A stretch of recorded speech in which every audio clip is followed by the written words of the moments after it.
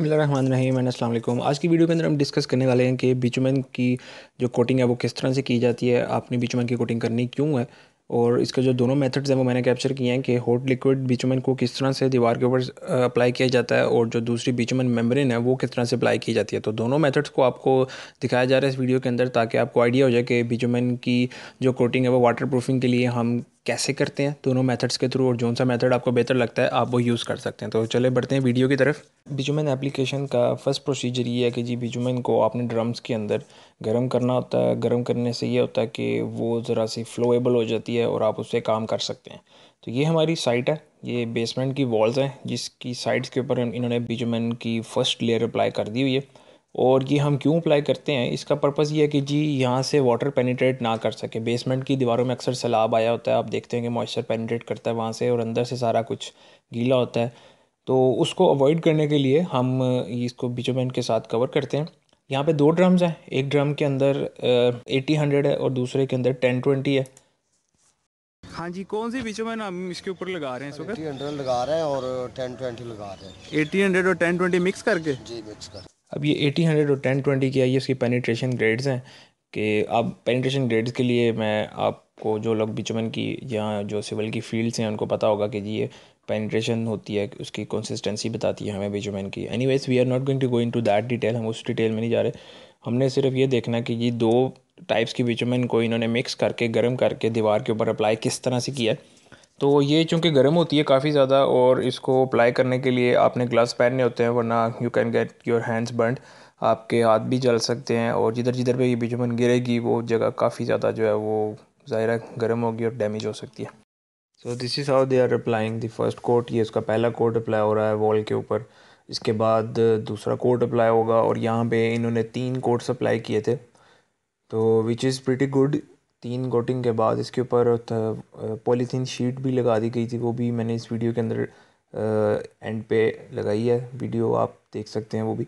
और उसके बाद जो दूसरा मेथड है जियो मेम्ब्रेन या जिसको बिचुमन मेम्ब्रेन्स कहते हैं, वो कैसे अप्लाई करते हैं दीवार के ऊपर, वो भी मैं आपको दिखा देता हूँ इसके बाद। तो ये फ़र्स्ट कोट आपने देख लिया। इसी तरह से इसका दूसरी कोटिंग की जाती है जब ये वन फ़र्स्ट कोट कंप्लीट हो जाती है।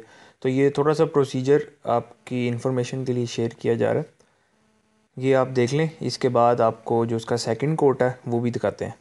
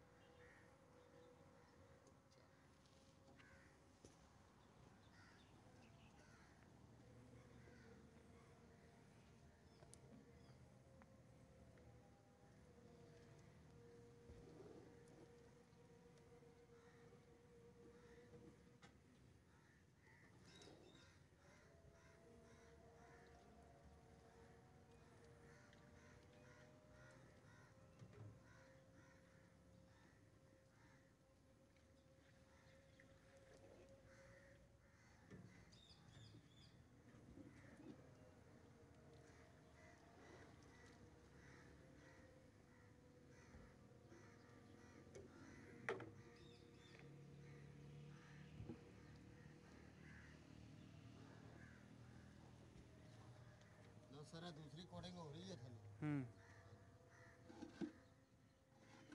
ठीक होगी जाओ जी।